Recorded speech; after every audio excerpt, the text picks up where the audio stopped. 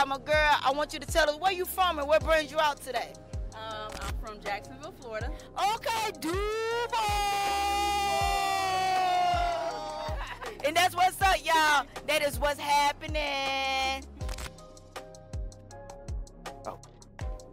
Yo, it's your boy Nuface, and we are live on Edgewood, and I got your hip hop history minute. But besides the hip hop facts, you know what else is important?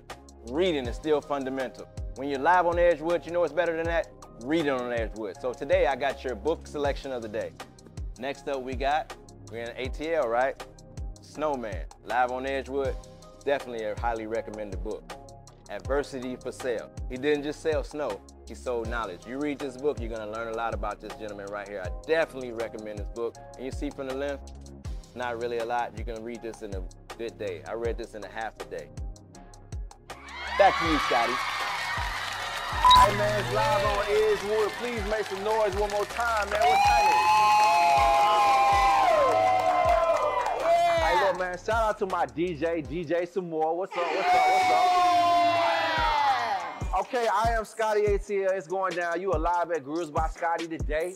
I got my co-host with me, Erica Duchess. Erica, what's up? Yeah, what's up, y'all? What's up, Scotty? Hey. Scotty got that shit on today. I. I see it. Okay, look, it's going down. I'm super excited about this episode, man. I've been waiting on this all week. My Yeah. partner's been hitting me up. We done had people came from out of town to see this. It's Facts. going down, man. We got the legendary mm. DDP in the building, Diamond Dallas Page. Man, make some noise right now, man. It's going down, man.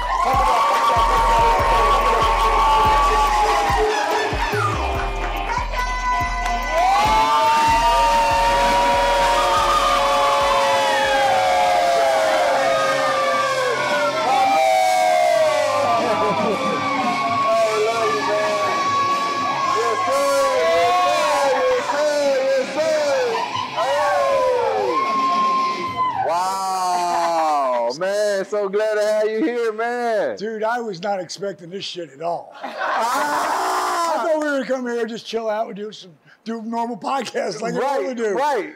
You lit this fucker up. Yeah, what's up? What's up, man? What's up, man? Hey, man, people came from out of town to see. I, when I came in this morning, people told me they came from Jacksonville, another guy from South That's awesome. Carolina. Yeah, to come see you, man. So, Wow. hey, can y'all make some noise for, for DDP one more time? Yeah. Thank, thank you. You know, uh, my favorite one of my favorite quotes is by Maya Angelou. Yes, sir. And she said, You may not remember what he said or what he did, but you'll always remember the way he made you feel. Yup. Deep. And that's why people came in. Yeah. Because it's the only time, you know, this, you know, so it's uh that's awesome. And and how I good. how I know this guy, because my daughter loves him. And my, and my granddaughter loves him. And you've been such an awesome someone to look up to for Brittany and Wow, uh, man. yeah, Shout out like, to man, Britt, man. Lot, lot of power, a lot of power. Yeah. lot of power. man. Thank you, man. Yeah. Thank you for sure. This is Erica in the back. This is our Yes, lovely co-host, Duchess. How you Erica Dutch. Yeah, how did I miss you? Yeah, Yeah. yeah, yeah. I know, right? I know, right? What's up? What's up, E? What's up, E? Okay, all right, it's going down, man. So, oh man, so this this is like family, man, today. So I got all right. First of all, I want to start out by saying that um a lot of people don't know this, but you used to play basketball. Oh yeah, that was a. Let me let me give you a little build into this because playing basketball, it became like my life. Um, I was a football player as a 9, 10, 11, 12. And at 12 years old, man, I thought I was playing for Dallas Cowboys someday. A defensive Wow. end, like, like I saw that. And then one day I walked out and got hit by a car. It hit- It hit my front knee, my face bounced off the hood, and I flew 42 feet from the point of impact. That was in 1968, so there was no such thing as rehab unless you played for the Knicks or, you know, the Jets or whoever. Yeah. Um, there was no such thing as rehab. So my doctor's like, you can never play football again. Damn. And man, I cried like a baby, man. And I had my mom take me to the Jets, and um, uh, he worked on Willis Reed, and he worked on Joe Namath's knee. This guy, Dr. Nicholas, and I'm, you know, I'm this guy. He's gonna, he's gonna show me. He's gonna help me. And he said, "You're never gonna be Joe Namath. You're never gonna be Willis Reed. Hit the books and study." Damn. Well, That's I was crazy. ADD and dyslexic. You know, I was reading at third grade level at the age of 30. So books were not in the scene for me. So I never played basketball up till that point. I didn't make the team in seventh grade. I didn't give a shit. I was a football player. Wow. But eighth grade, I gave a shit. And I was six foot two at the time. Um, I sat on the bench. I swore that shit would never happen. I never sat on a bench. Right. At nine, I was playing with the 12 year olds. So I was playing football. But now, you know, basketball is, is more of a skill game, you know, it, I think than football, unless you're a receiver or quarterback or whatever. what, what position did you play in football? Defensive end. Okay. Yeah, I actually played both ways, defensive end and center. So, you know, you don't really, you know, you hit. Right. You're aggressive. Right. I was aggressive, you know, and uh, what it taught me that summer, I played from the morning I woke up. If I wasn't having to go to work or the waves, I was a surfer. So Mm-hmm. if the waves weren't good, I was at a basketball uh, park from morning till night. And I played and I played and I just kept getting a little bit better, and a little bit better, and a little bit better. And then that freshman year, I started, I averaged 16 points a game. We were undefeated. And sophomore year, I started playing varsity. And so it just became my outlet because literally I couldn't read, man. And I I became the king of the cheat sheets. You know, I Exactly, yeah, And I and. I also I also was very involved. Right. Because I can talk. Okay. You know, and I was very, you know, and the teachers liked me. So Mm-hmm. I kind of like cheated my way and got through school and graduated 229 of 229. You know, so, whoa. but But you was it's very- popular in school? What? Yeah, I was pretty popular. Yeah, I was, Okay. yeah, I was one of the, by the time I was sophomore, I was one of the leading athletes in our, you know, in our school. But, you know, later on, not knowing how to read, and you can get around it, um, but at some point, you gotta fucking figure that shit out, man. Exactly. And I'd heard Tony Robbins back when he was doing infomercials friggin' 40 years ago, and, or 35 years ago. And I couldn't read his books, but I could listen to his tapes. And at that point, Kimberly and I, my first wife, we'd gotten together and I decided I'm gonna learn how to read proficiently. And I would- did baby steps, set a goal, I'm gonna read a book from cover to cover. And I know that may not seem like a big deal to most of you, but to me, it was fucking overwhelming. Right. So when you got hit with something you're gonna set out for yourself, you gonna you don't want to set yourself up to fail. So I set another goal. I'm gonna read one page from that book every day. That's good. Even I could do that. Right. And I didn't do it when I got out at night because I was running nightclubs. So who knows what time I'm gonna get in at that time. So every morning, before my feet touched the floor, I put that page in. And it was a guy named Lee Iacocca who was the one who took uh, uh, Buick when they uh, went under. He was the cat responsible for bringing them back and taking them out of, uh, you know, uh, Chapter 11. A very smart guy, and he had a great story.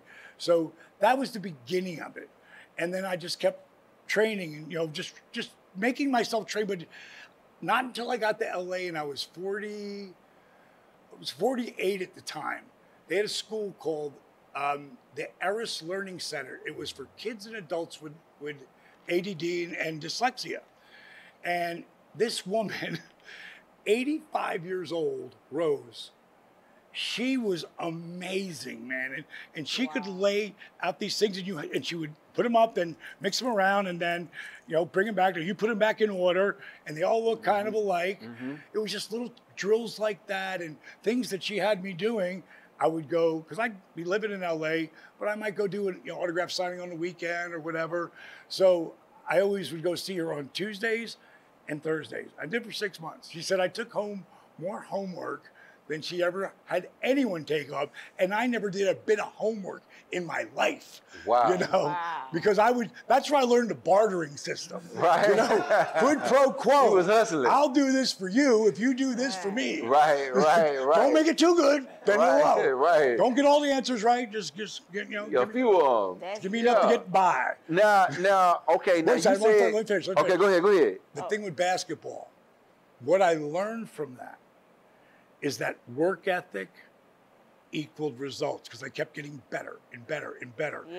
And inside my Hall of Fame ring, it says work ethic equals dreams, explanation point DDP. So that's a very important message, you know, that everybody needs to know, you know. That's deep. That's That- deep. that's deep. Basketball is my is my game. I played basketball growing up. I was a star basketball player, but they didn't let us play football. My coach came and got us off the field. I played for He Rehab. watch you get hurt. Yeah, yeah. He came and got actually like four or five of us. Our first starting lineup tried to go out and play Right. football, but he came and got all of us out of practice. Now you mentioned um, what, while you were working doing nightclubs, and I don't think a lot of people know this about you, but you used to run a nightclub called Couple. Norma Jeans, Yeah, right? yeah. Tell was- us about that. That was the first big, like I, I ran a, a couple big clubs that weren't, uh, you know, the, the best as far as money put into it, but that was one we, we, we smoked, man. It was in Fort Myers, Florida, and it was called Norma Jean's Dance Club. Mm-hmm. And we had seven bars, big ass dance floor, and we would do visual comedian stuff up while songs were playing. So you had something else to look at, or you had hot girls, or I'd do like the you know the hot legs contest. Okay, you know, okay, uh, okay. Bikini contest, Right. Wet t-shirt contest. This is down in Florida, you know. Right, right, So it was spring break, and it was uh, it was a lot of fun. Um, but that's I tried to wrestle when I was 23, and it didn't work out for me because I hurt my knee in my third match, and I didn't know anything. You know, I was just ignorant. Went over the top rope and came down, torqued my knee, and my doctor said, "Take off a month and come back." That's how I got in. That's where I bis- I got taken away by the bar business because I'd been in the bar business since I was 17. Day crew, bouncer, bartender, um, you know, whatever needed to be done. But at 23, when I hurt my knee, I got a chance to run my first little rock and roll club. Now this I'm taking off the time from wrestling, Right. and man, I forgot all about that wrestling dream with the booze, the broads, and the party. It was hot. Oh, it was hot. I was having too much fun. You okay now at Norma Jeans? Is this where you had the pink Cadillac? Yeah, pink Cadillac. And I drove that fucker everywhere, man. For real? For real, man. You parted in your front. Oh, I parked it right up front. It was Where pink is the Cadillac. pink Cadillac now? Where I, you know, God, I have no idea where that pink Cadillac is now. I used to call. This is before I was ever married. I used to call that the divorced wife I never had. Wow. And I had to put a lot of money in that fucker, you know, Right, like right. consistently. But I love that car. It was, it was, uh, it was a statement, and it ended up giving me my first break because, you see, if you worked as a WWE in Tampa, the next night you're going to work is in Miami. Well, that's 300 miles, and Fort Myers is right in the middle. Right. So what had happened was, I got to uh, digress a little bit here. What happened was, I'm in the bar business. I'm just having so much fun. I'm not even watching wrestling for once in a while, and then I hear about WrestleMania. But you had a lot of wrestlers that came by Yeah, well, that's Norma it. Jeans, though, But that- right? yeah, that's it. What happened is I'd heard about WrestleMania, and at the time I was so pissed off. I was like, "Oh man, I walk. I didn't follow through with my dream. I should have been a part of that." Wow. From And these it- guys that were coming in, they was the one No, telling not you about it. not yet. Not yet. This is right, right before that. Right before that, they ain't come in yet. Because when I WrestleMania was like '84, so I didn't watch wrestling for years, like probably two and a half years, and. The, the, on the TV, I was flicking the channels. You remember that shit, right? Right. Yeah, Some we, of you- had a we had a board. We had, Right. you had your little with a board. brother do it. Um, and uh, I, I was looking at channels, and up comes this dude who's got a bag over his shoulder, and he got swag, man, the way, like a purpose. He walks that ring. Jake the Snake Roberts, Jake. man. Yeah, Jake the Snake. And I watch, and I watch his shit. Yeah. I watch his shit, and I was like, man, who is this? And then I watch his work in the ring, and I couldn't see through it. Oh, that looked fake. That looked no, I couldn't see through anything. Right. And then he cut a promo, and he like scary, man. Like, who is this guy? I was immediately a fan.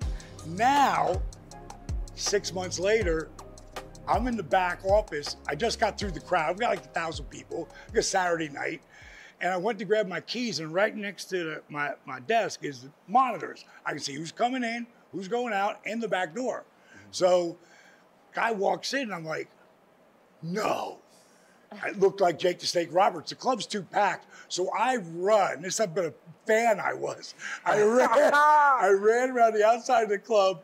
I got around to the front door and I go, Johnny, did a guy just walk in here look like Jake the Snake Roberts? He goes, Yeah. Everybody thinks it's him. I go in there, step in, and I go, Ooh, gotta slow down. Don't want to fanboy.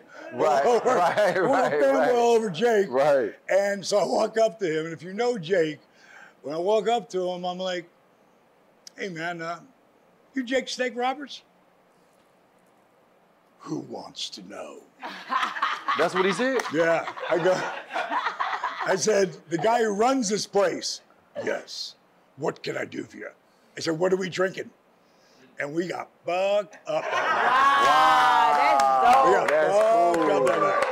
That's dope. And he would tell the other guys, "Hey, if you know, if you're going, if you're get- staying, if you're going from Miami to Tampa, stop by and see that dude. He'll hook you up. He'll take care of you. He didn't pay for shit, Right, You know, right. I hooked him up, but he was also protected. Nobody could fuck with him, you know. And so the next thing you know, more of the guys are coming in, and man, one night cool, man. the Bushwhackers was there, and so was Ted DiBiase, the oh, Million Oh, Dollar man, Man. million dollar man. I know Dollar about Man. Ted. I know about Yes, Ted. So I'm out there talking to Luke, and he's looking at the pink Cadillac. He's like, "This is amazing, mate. mate uh, let me let me call let me call up. Uh, I want to call Pat Pat Patterson, uh, uh, the, the Honky Tonk Man, and uh, Jimmy Hart. They're looking for uh, an old car to, to take it to WrestleMania. Yeah, yeah, yeah, and, yeah.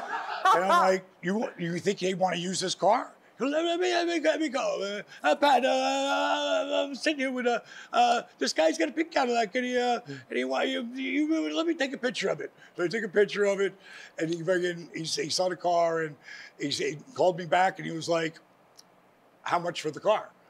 I said, if you ship it up there, because I don't want to drive to Canada, it was the one in Toronto. I said, if you ship it up there and fly me up, I'll drive it and I'll cost you nothing. By this time, I'm already Diamond Dallas Page and doing managing for in AWA. Okay. So Diamond Dallas chauffeur that day in WrestleMania 6 drove the car to the ring and it opened up the door for more guys to know me and build relationships. And you know how important in the entertainment business. yeah. Relationships. It really it's everywhere, but especially entertainment. It's so important for your relationships. And I don't mean, you know, a lot of people think it's all about who you know or who knows you, when the reality is it's who's willing to say they know you. Oh, You know? yeah. Yeah, who's willing to pick up the phone and make a call and say, "You need Scotty. You need to get over here at Grills, man. You gotta see his Wow, grills." You know what I mean? You- you- who's going to do that? And I built those relationships Relationships. over the years, and um, Hey, what up, man? This is your boy Scotty. We're gonna get into our word on the street segment with my girl E. E, what's up, man? Talk to the people. Up, y'all? This your girl comedian Erica Duchess, and we're here live with Word on the Street. And you know, I got some stuff I, people want to ask my people DDP, man. So let me ask my partner right here. If you had one question to ask DDP, what would it be? If you were to fight one person, who would it be and why? He said if you wanted to fight one person, the last time, who would it be and why? Let us know. Peoples want to know. Word on the street. Uh, what should have happened when I went to the WWE, it should have been People's Champion versus People's Champion. Yeah, come on. So now. let me, let me tell you how that Say came that about. Let me tell you why, why I thought of this. I thought of it years before I got there. But I was I went to a WWE show when I was at WCW. And I w big show, I pretty much raised him in the business, got him ready for Hogan and all that. Because I was always down the power plant. If the WCW wasn't using using me, I was down there training and training the young guys. And that's why I got so much better so fast because I was I've engrossed myself in it. So I want to go by and see show. I go by and see him. Afterwards, we're getting ready to leave, and the locker room's empty. And he's like, he goes, "You want to meet The Rock?" I said, "Yeah, I'd love to meet The Rock." So Rock, freaking, he goes, um, "Hey, Rock, you here?" Yeah, I'm in the bathroom. I'm in the shower. He goes, "Good, I got some huge mark who's dying to meet you." Like, "You fuck." And then I just said, I go, and I don't want to meet you unless you're naked and you're all sudsed up like the Michelin man. and freaking, and Rock, you know, when you hear a voice you know, Right. but you don't know it here, he sticks his head around the corner and he stu- stuns up like the Michelin man. He's all sudsed up. He goes, "Oh, Diamond, I'll be out in a minute." So this is back when Rock had the this you know the mullet shop. He was doing the Elvis thing, wearing the fifteen hundred dollar Versace shirts. So he comes out, we talk, and I I explained to him, you know how tight me and Jake were, and Jake was booking when Rocky Maivia came in, and Jake calls me up. He goes, "D, where do you see this kid Rocky Maivia? He is so good looking. I don't know if I want to fight him or fuck him." and Jake and, uh, and Rock goes, "That sounds like something Jake would say." I said, "You know, he said you were going to be huge. Uh, you're on your way." I said, "He said Austin was going to be huge when he was the ring bearer, and he said it to me in '93." He goes, "Jake's got a great eye for talent," and uh, I said, "Listen, man, I love what you did. I caught you doing it uh, a couple weeks ago. The Rock this and the Rock that. Then you went back to yourself. The Rock this, the Rock that. You went back to yourself." And I said, "That was really entertaining shit, man." I said, "Good luck with everything." So walking out the door, and right before I walk out, I hear, "Hey, Diamond." As Big Show gets out of my way, he's putting on one of those shirts, and you can just see him rolling into character. And he goes, You know, Diamond, there's only one people's champion. and that's what Big Show did. And, and I just deadpanned him. I looked at him and I went, Well, Rock, you're right. And you, well, you're looking at him. Oh, that was out the door. That's good. That's good. Clap it up. Clap it up one more time for DDP, man. Please, man. Now you, because you used to manage wrestlers too before Yeah. you got in it. Yeah. Diamond Exchange was the name of your Yes. your management company. Yeah, and that that was uh, how I got that gig, bro. That that was God's work. You know, God gives us all a gift. Yeah. You know, and what do you do with it? And uh, I think um, I we were Jake's in the club. The, you know, the, the Bushwhackers are in the club. The Nasty Boys. So many of the guys have been in the club that I used to do all the commercials for the club. Right. And eventually I might throw in, ooh, yeah, hot legs, thousand dollars. Right. Miss it. Ooh, yeah, dig it. You know? Right, right, And right. They had all been in the clubs. Macho had never been there, but they don't know if it's Macho or it's not. You know, Right. I could do Jesse Ventura, Hulk Hogan, all those cats ba- back then. And someone had seen it that had a little cable network, right? Right. And they called it the Party News Network. And they said they wanted to come and film me doing the, you know, all the commercials and stuff. Mm-hmm. And it's in, during the shit, they show me my 62 big Cadillac. They they show me at the studio, and I'm literally wearing a WrestleMania T-shirt. You know, I got the long hair down to here. I look like a wrestler. You know, and so at some point we're in my club, and they said, "So where does the voice come from?" Yeah. And about three nights before, we were all drinking, and I think uh, Ted came back through or whatever, and everybody's talking about wrestling, and we're counting the money and doing all that. And now in the bars, that's where we really drink after hours, Right. Because you, you know you got to You made your money. Everybody yeah, kicking right. back. And I didn't care. Drink whatever you want after hours. And so at some point, someone says, um, you know, I heard that you wrestled. I said, yeah, but not really. I, you know, it, was, it, it, you know, it didn't work out for me. And he said, what? My buddy Smokey said, so what was your name? I said, Handsome Dallas Page. Right. And he went, whew, you can forget about using that gimmick anymore. Uh, It's not that funny. and, and, uh, and so I just start thinking, I'm too old at 31 to be a wrestler. I'm thinking, but I could be a manager. What if I, Jimmy Hart's got the Hart Foundation. What if I was Diamond Dallas Page and I had the Diamond Exchange? So in my scribble, I'm writing that down on, on the thing. right. I always tell people, just don't think it, ink it, write it down, Oh, I burn it in your that. brain. Just don't You know, Ink it, ink it. I Don't like just- that. I like and if you don't ink like it, put it on your damn that, phone. I'm telling you now. Yeah. Put it on your phone. Like I had to Think like that, turn think off a few of them, but on alarms. That's where I set all my goals for that day.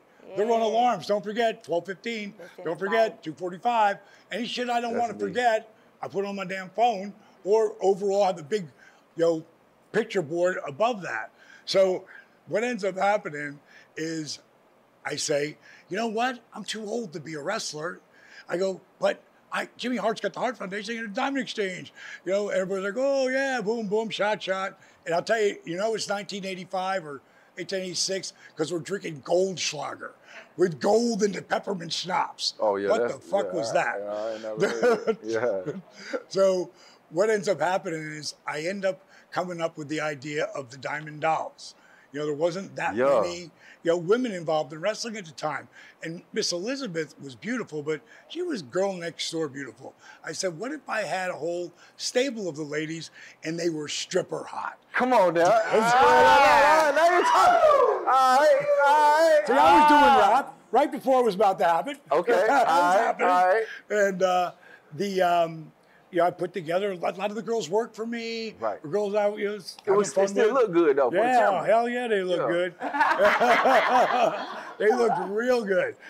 I got known as the beginning. You're the guy with the girls, you know. So Right, that's not a bad thing, you know. And uh, so I, I, they saw a guy named Smitty who has a, a radio show, saw that thing they did on the Party News Network. Mm-hmm. Because at some point on that deal, they said, "So where does the voice come from?" And that Diamond Dallas page, the Diamond Exchange, the Diamond Dolls, it's right there in front of me. And it's right next to a pair of white sunglasses. And Scotty, if the white sunglasses aren't there, I don't know if I do it because it became a mask for me. And, and when he said that, I looked down and I go, This is it. I picked him up and I put him on. I said, The voice comes from Diamond Dallas Page, Daddy. I was born to be a professional wrestling manager. It's big, no, no, no, no, Norma Jean's voice. And then I went back to talking like me. And then uh, that guy Smitty saw it, wanted me to come in and be a, you know, on his show. I go, dude, I don't really do it. I was just making that shit up. Right, right. And he goes, Who cares? It's radio. I go, But I don't really know. He goes, Well, I'm going to have Captain Lou Albano on the show. I go, You're going to be on with a captain? I'm in. Right. So I did it, and I did another show with Sergeant Slaughter. And at that night, we went out for a drink afterwards, and he says, You know, you got to do something with this Diamond Dallas Page thing. I go, Do what? He's like, I got a friend of mine who used to be a boxing promoter. Now he's promoting wrestling up in the Midwest for the AWA. Right. Make him a tape. Make him a tape of what? See, I used to do so many wild things in the club. We'd have Rocky Horror Show. We did so many things, you know, creating storylines you know, that, that made people want to come. And he goes, You're really creative. He goes, You'll think of something. So I got three of my bouncers, and one I called Big Bad John. One I called, this guy was handsome as hell and shredded and beautiful, just really good guy. I called him, and no one's ever used this name, but whoever does is going to make money. Rock Hard Rick. Rock Hard Rick. And, and the last guy, I swear to God, he was one of my bouncers. He was a midget eh, or a little person, and he would stand up on the chair and take people's ID as they were coming in. No. And I called him Ted E. Bear. And I Wow. and I had the Diamond Dolls. I made this tape. I sent it to the AWA. Never thinking I'm going to hear shit. But what the fuck? I put it out there. I would, God, I'm throwing it out there. And um, two weeks later, Scotty, I get a call. And uh, hello, is uh, Diamond Dallas Page here? Now, no one has ever called me that before. And I, I it, if you didn't say fake it till you make it, you know, the quickest, I heard a reverend one day say, the quickest way to get there is to act like you already been there. You know? Thanks. And I thought, I'm Thanks. writing that shit down. Thanks. And uh, I said, uh, uh, who is this? He goes, Rob Russell from the AWA. I go, oh yeah, this is DDP. Never called myself DDP ever before that. And he says, uh, hey, uh, we got your tape. And, you know, we like your style. We, uh, we like your guys. They, they look good. Um, we want you get you guys to fly out to Vegas and do an audition. We'll check you out and give you an opportunity. He goes, well, we got one question. No one's ever seen you guys before. Where are you working at? Uh, well, Rob, truth is, none of those guys can wrestle. That's what, you told him. That's what I did. What, you gonna bring them out there? And they can't wrestle? Right. You know, like, I go, well, they want to be wrestlers. He's like, why would you send a tape? I go, if you got a school they could go to, or, you know, I could, if you got someone needs someone to talk for them, I'm ready to go. You know, Rob, hello? You know, don't call us. We'll call you. Ah. And as life would have it, Paul Heyman, who's one of the biggest stars in the history of the universe of wrestling, he was called Paul E. Dangerously back then. And he was in the AWA, and two weeks later, he left and he went to the NWA, which would become WCW. And it left a huge void for a young guy that can talk. Now, if I don't make that tape, which is ridiculous to think that it's ever going to turn into anything, if I don't take the time to make the tape, it never happens. You know, if you, if you don't ask, it's no. You know, so That's so crazy, man. Two weeks later, they called me up and said, uh, "All right, Diamond, we're going to give you an opportunity." They had no idea that I was six foot four, and ninety percent of the time I was wearing cowboy boots. So when I got there, my guy was five eight and five ten. This is how I did my promos. This, Right, right, right. and uh, you know, little baby steps, making relationships, and one thing turned into another. For the first three and a half years, and you'll know this for being an entertainer, right. it costs you money Yeah, to be that person. Yeah, and a lot of people, well, what do you mean? You know, what, You promote am I gonna yourself. Get paid right away? Yeah. Invest in yourself. Yeah. No, you got to put the fucking work in, dude. Yeah. You know, Got to. time, right? Yes. So Time. so so let me ask you this: Who who is like what's your relationship like with Dusty Rhodes? That's the role. That that's my blood, bro. Mr. Figure Four. He is. He helped. I get a call. I'm still. I'm working in the AWA. Just one weekend a month. We fly to Vegas. We film four shows. So maybe I've been I've been in business about 13 months at that time. That means I worked 13 days. Period. Right. But I was on every chair. I was on every show. We do four shows. So Mike Graham from Florida Championship Wrestling it has, he calls me and it's like one in the morning. And I don't have a problem with that. I'm only up to three or four in the morning. Mm-hmm. But I got to catch a flight the next morning at eight. So it means I got to be up around 5:30. So I'm trying to go to sleep and I hear Mike on the machine going, Diamond, if you're there, pick up the phone. Pick up the phone. On the answer machine. On the answer machine. Yeah, And yeah, I yeah. remember that? Yeah, that's funny hell. That's funny. So I pick up the phone and he says, Listen, I got Dusty Rhodes here.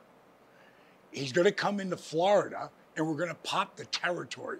He's putting the money in. I told him about you and I want you to treat him like he's the biggest mark on the planet. I go, Bro, bro, I got semi strep throat right now and I, I, I, got nothing prepared. He goes, I go, Show him the videotape I sent you. He said, My VHS player's broken. You're, you're on. And I went, Wow. Good God, Dustin Rhodes, the Tower of Power, the man of the hour, too sweet to be sour, getting funky like a monkey with Diamond Dallas Page. And I just went all freaking ran for about 40 seconds. And then I went, that's all I got, Dusty. I got like strep throat. And uh, Dusty, hello? You know, it's, Right. was that a recording, kid? And um, he, that that was the strongest relationship of anything that ever happened in my life because I did go up there.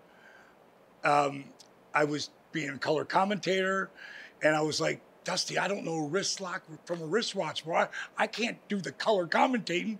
And it was with Gordon Solie, and he's like the dean of wrestling. And he said, Don't worry about a kid. Gordon Solie gonna walk you through it all. Yeah. It sound just yeah. like yeah. You sound just like Yeah. And he did. Dang, that's When, crazy. when he died, when he died, Wow. his son Cody called me Yep, Cody. Cody and he said, Dusty, he called his dad Dusty a lot, especially with me. He said, Dusty wanted you to know that he had a lot of friends, mm-hmm. but he had five family friends. He said, and some of the people have fallen off the hand, and some were lucky enough to get back on that hand. Mm-hmm. He said he wanted me to know, meaning Cody, Diamond never fell off that hand. Oh Like from 1988 till the day he passed, Mo. We were fuck. He would help me. The big, the strongest thing he ever told me, and it, ref- and it these are the reason why I say a lot of the things I say. Uh, I was really frustrating in 1994 because I felt like I was ready, you know.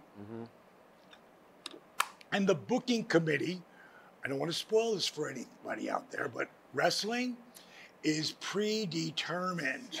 Okay, yeah, I was gonna ask you that. Yeah, I is that is that like reality TV? No, I was gonna say something Go ahead, on that on that story, on that topic. Yes.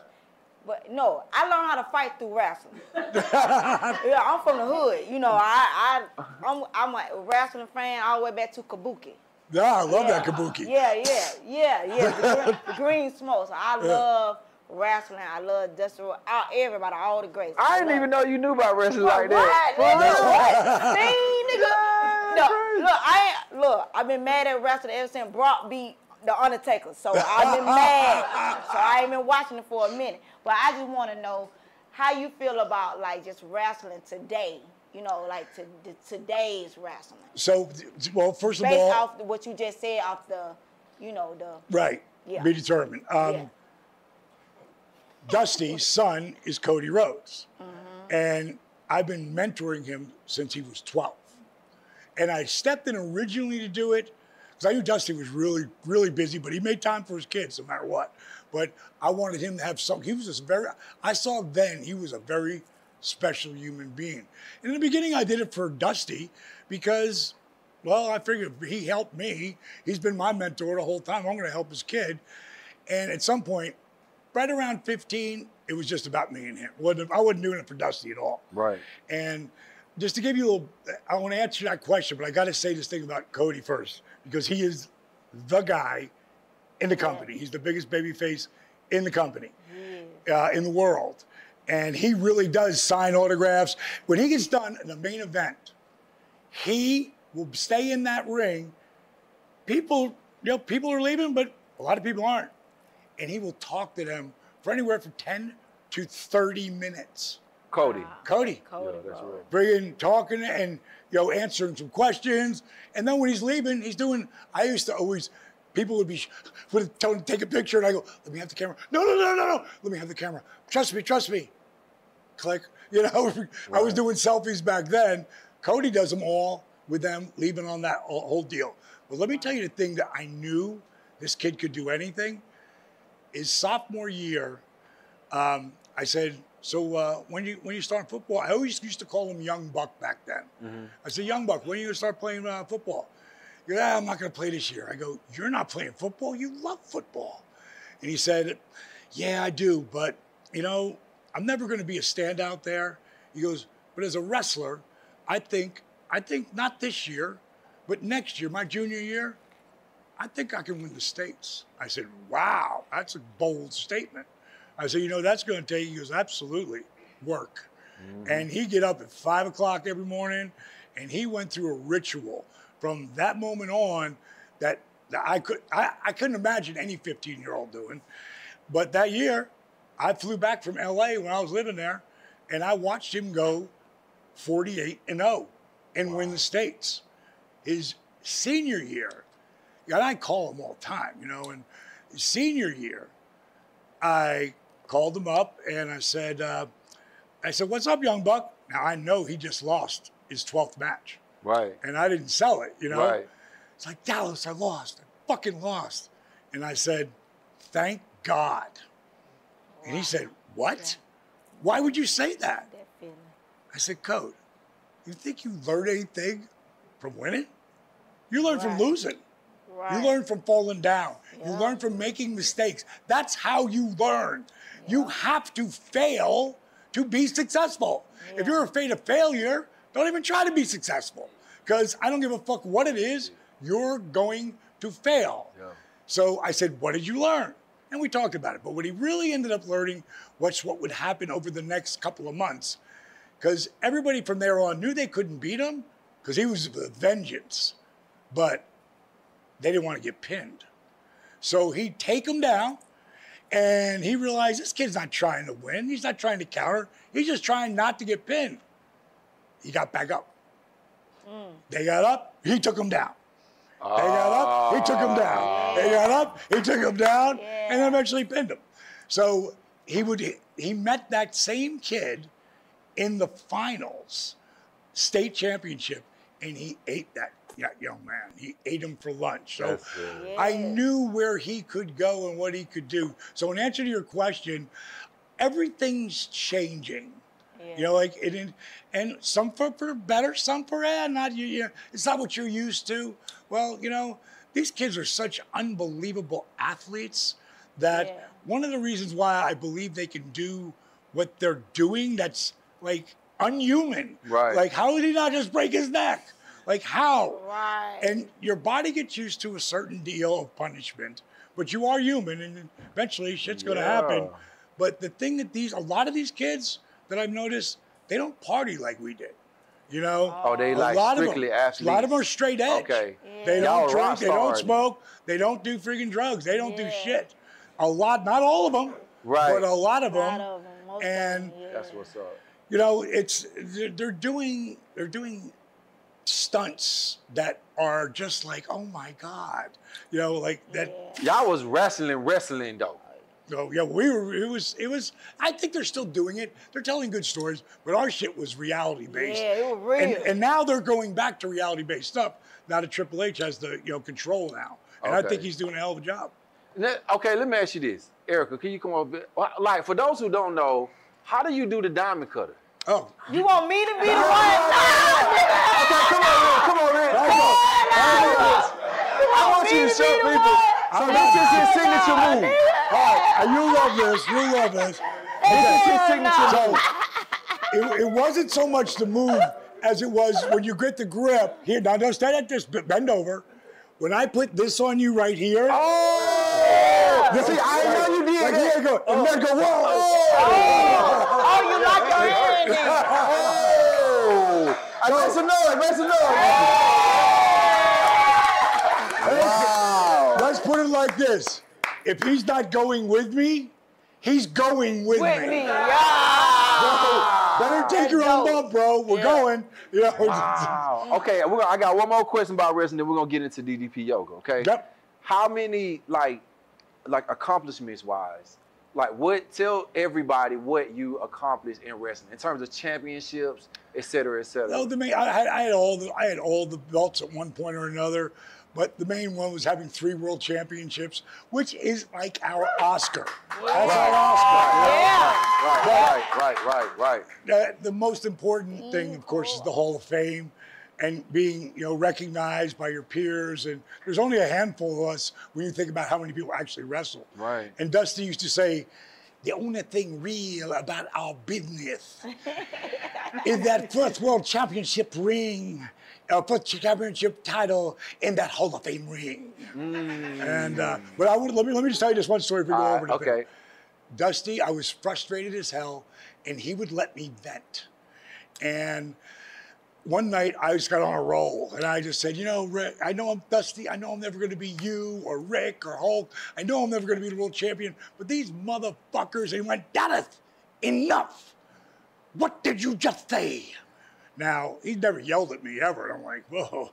Now I feel kind of stupid. I go like, well, Dream, I'm never going to be you or Rick. He goes, no, D, what did you say after that? I said, well, I'm never going to be the world champion. He goes, then what the fuck are you doing it for? Dallas, if you don't believe as hard as you work, as many times as you have grown in this business, if you don't believe you could be the world champion, then get the fuck out of our business right now. Oh, and, and he kept yelling at me. And I can't tell you well, because I felt like he reached through the phone and just bitch slapped me. Yeah. And but I can tell you exactly what I did. There was a yellow ledger pad next to my phone, and I pulled it over and I wrote on it, I'll be the world champion in five years or less. Wow. And it was four years, four months, and 14 days. And the crazy thing, Scotty, I'm a four, four, the, crazy thing is, that night, I've only seen it happen twice. It was a four way dance, meaning Ric Flair was going to be in this match, Yup. Hulk Hogan's going to be in this match, yup. and the franchise, the Stinger, going to be in this match. Yeah. And Nature Boy took the diamond cutter in the middle The great, to me, the greatest of all time. Yeah. Those length Yeah. and everything. Yeah. Woo! And um, and uh, that that was huge. It, that when I was Dusty wasn't there that night because it was tomo- uh, uh, in Washington, uh, and uh, he uh, he called me the next day. I just got the cell phone, and I pick up the phone and I hear, "So how'd it feel?" I said, "It feels real, Dream. It feels real." He said, "That's because it is." And he hung up the phone. Wow, man. Clap it up one more time for DDP, man.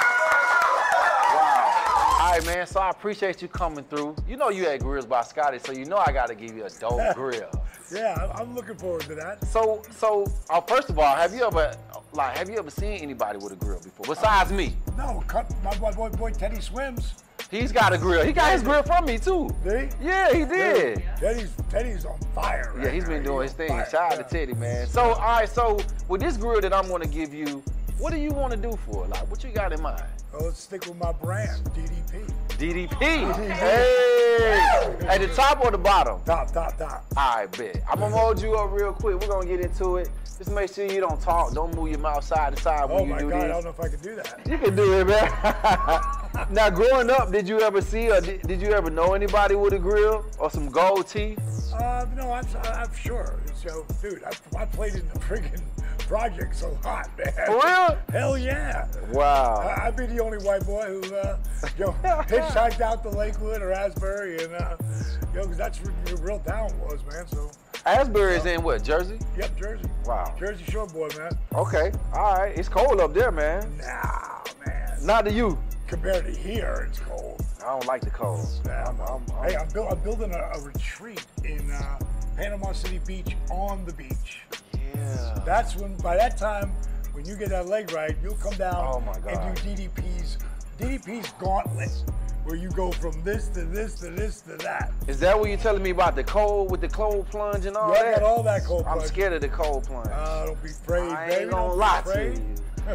All right, you ready? Put your top lip up just a little tad bit. Yup, open. Perfect. Bite. Stay like that. Hey, look, while you doing that, we're gonna get into our smile fact for the day.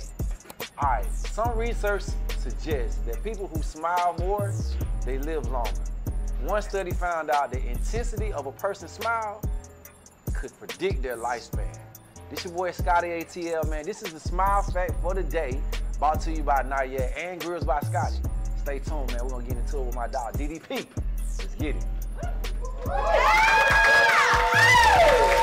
I gotta tell you that, you know, your story and just everything you've been through, man, it's inspiring all of us. It's, it's inspiring me for sure. Thank you. You know, just to just hear some of the things like you writing it down and where you what you had to go through to get, you know, where you are right now. It just didn't happen overnight. Nobody A lot of people think shit. it happened overnight. Though. No, You know what yeah, I'm I was? I was an eight year overnight success. You know? Yeah. But that's the way it was with I- I DDP like Yoga that. too. Yeah. It took eight Tell us about years. DDP. Okay, so for those who don't know, what is DDP yoga? First of all, the first 42 years, I didn't start wrestling when I was 35. My career took off when I was 40. That was 96. 97 and 98, I was on top of the world. I just signed a multi-million dollar three-year deal. I was living, I was living a dream like at a whole different level. And then I broke my back. And for me to get out of a chair back then, it would be like this. ah. And this was my flexibility. I pushed myself to come up. I had three spine specialists tell me I was never going to wrestle again. I'm 42. It just exploded. I just signed a multi million dollar three year deal, which goes bye bye if I can't get back in the ring in six months. So the guy who wouldn't be caught dead doing yoga, now he's got his name attached to it. Right. you know, that's God's work, not mine. You know, Come on. Right. You know? I did. Yeah. And with DDP yoga is a combination of yoga, rehab, old school calisthenics done with slow burn movement, and something I call dynamic resistance, which is flexing and engaging as you're moving, like lifting weights, but not. So you get a kick-ass, by accident, Scotty, I created a kick-ass cardiovascular workout that dramatically increased your flexibility, strengthened your core at a whole different level, all with minimal to zero impact. Now you guys see what I've been doing for the last 40 minutes here. This is my flexibility when I blew my back out. We got a camera shot here? Yeah. Am I good? Okay. This is my flexibility cold. Wow. Damn. Flexibility is youth, but core strength's a whole nother animal. Being able to stand here and talk to you on this gooey floor here and grab either foot and take it and pull it over my head at six foot four, 224 pounds, a twisted steel and sex appeal.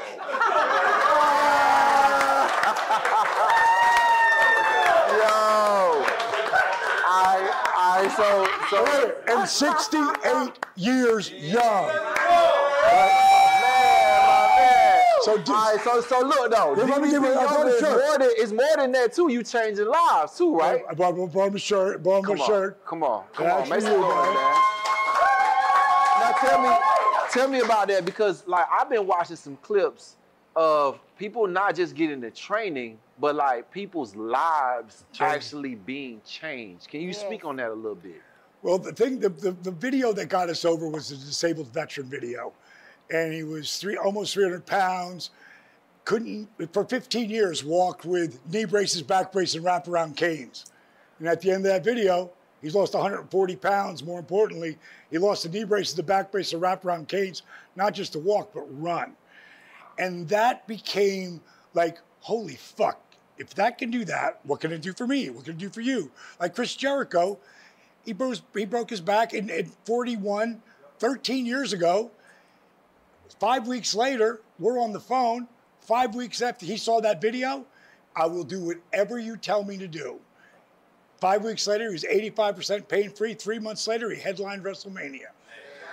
For me, you know, Yeah. But I'm the first. I'm the first, you know, transformation though, because that three different spine specialists told me my career's over. At 42, at 43, I'm the world champion. Bring him back in the ring, oldest world champion ever crowned. So I became the first one. But if you want to see a great documentary, go to Amazon Prime and watch the resurrection of Jake the Snake. Jake the Snake. That is Snake so talks to powerful. So Yeah. powerful. And it's, it's not just helping him and Scott Hall, aka Razor Ramon. We got an extra 10 years out of him, man, because he would have been dead long before that on the role he was on. And again, it's addiction and helping people overcome their addictions. And that's a part of what we do. God, I, I don't I don't even know how it happens, except for we all who do the program leave an example. And I make it so no one can tell me you can't do DDP yoga. Why? Because it starts in fucking bed. Like, you can't get out of bed? I got eight workouts for you in bed. Then you can sit in a chair. I got about 24 workouts sitting in a chair. Then you stand up and you use a chair to get balance, to get up and down. So you can't tell me you can't do it. So that's the one aspect. And the other aspect is the super athlete, like uh, Chris Jericho, who's still performing. He just signed another three year ridiculous multi million dollar deal at 53. Wow. Crazy. So, Come you know, on, man. So Yeah. D- DDP is yoga is on the app too. Yes, that's that's really where we have all of our, you know, people. We have a whole community. Okay. Like if you go to the app, it's seven days free, so you, not like you can't try it for nothing. Facts. Cost you nothing to try it, and if you do do it, the number one thing that will pop up on the dashboard we call it is the list. If you listen to my video and it'll tell you where to go, if you do that entire list, it's why we have thousands and thousands of ridiculous transformations. Right. If you just do the list, because I'm going to talk to you about rebooting your brain, I'm going to do so many, talk about so many different things that are going to inspire you to, you know, set example of. We have three different eating plans that are 90 day eating plans. I mean, it's so involved. But the biggest thing we got, Scotty, is a community that started with five uh, friends, three guys, two girls. They just wanted to try to help keep each other accountable. Accountability. Now there's 78,000 people on that Facebook Come page. on, man. You are, you are the five people you hang out most with. And a lot of people, they're they're in, they're looking for hope, and the people that they hang out most with pull them down, and they'll find their way to that, and people help each other. Like I know you're big on the grill, all right, and you I'm looking forward to that. But no, seriously, with uh, but. A different type of grill, which is eased before the grill. Um, uh, we were leaving. We just we just contest every year. It's called Positively Unstoppable Challenge. Starts in January, and you've got between January and September to pick your best six months, whether it's January through June or February through July, whatever it is. And then people submit their and they have to document everything. Right. Or I don't even look at it because I don't know. You can't tell me you went from this to this. I'm not going to believe you unless you document everything. Hmm. And you reach out and help people. And then we pick, normally it's about eight to 10 champions that come in. And one grand champion who's going to win 20, $25,000. And he has an opportunity from Positively Page, my book. One of those books got half quarter of a million dollars in it. Mm-hmm. You know, so the insurance guy's there because it's like the holding one thing. Right. It costs me about a hundred grand to do it, but it's worth it. And we get so many unbelievable people coming in. So there was one guy, his teeth were, you know, because he was 540 pounds when he started. He fell and he broke some teeth. He didn't have any money to fix them. Then just life happens, and before you know it, it looked real scraggly. So I call up a buddy of mine to help, you know, who helps put the, you know, the the regular implant, not the grills, Right. but the implant teeth in, right? So I call him up and I say, hey man, I got this guy. Is there any way they do anything pro bono? And long story short, he says, let me ask. He said, but I'm thinking about going to this other company. I think they might do it. My wife opens up a box as we're driving home. And when she opens the box as we're driving home after I hang up the phone with my buddy, and it's a video of this company called Nuvia. And what they were doing were giving this veteran who was helping veterans get off the street and getting them back into housing and helping them get jobs. But his teeth were screwed up, and they gave him $50,000 of, of teeth work, right? Wow. So this, I'm like, what is this? This is so crazy. I just talked to another buddy of mine who did that. And I'm looking at this, you know, looking at this you know, big smile, whatever the hell it is. it just reminded me of the grill, the thing here. And what ends up happening, she goes, oh my God, wait till I read this to you. Dear Dallas, we've been watching you and the people you're changing lives and saving lives. And, you know, we're all about helping to do the same anyone in your community that you want to give a $50,000 implant grill to, you just do it and we got you. Wow. Like they this year they gave out two of them. Oh, that's Two of them, two guys That's who had worked so hard and when I told those cats they were getting pearly whites, They were man, going crazy. Ain't nothing. Changed Smile, their what's better than life. smile? Life. What's on, better than man. smile, bro? Hey man, can y'all please make some noise? We're gonna get into the grill.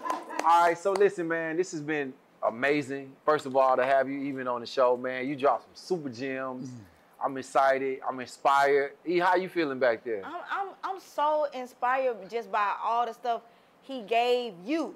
Yeah. This really motivation for you too. God's so good. Yeah, exactly. Just for like your mental, Yeah. just for you to get better in your yeah, situation. Exactly. We're gonna get him Yeah, back. like- We're gonna get him I'm, back. I'm, we talk in the back. Yeah. Once I get like where I can walk, walk again. Yeah. I'm, I'm gonna go in there with him. Okay, let's go. you know go. what I'm saying? Let's so go. y'all gonna Let's catch me go. on DDP Yoga too. Yeah, it's going down, my man. Let's go. Hey, I please love make it. some noise again, man, for DDP. Listen, man, you are live on Edgewood, man. Make sure y'all follow us too, man, on Instagram, live on Edgewood TV. Shout out to our sponsors, Nayad. Shout out to Grills by Scotty, man. We live.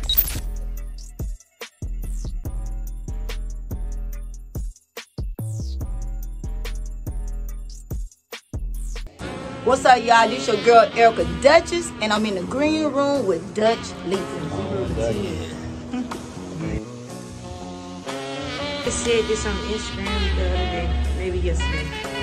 You got to be like an artist. You gotta be everywhere. You gotta. You can't be scared to be in different places. You gotta.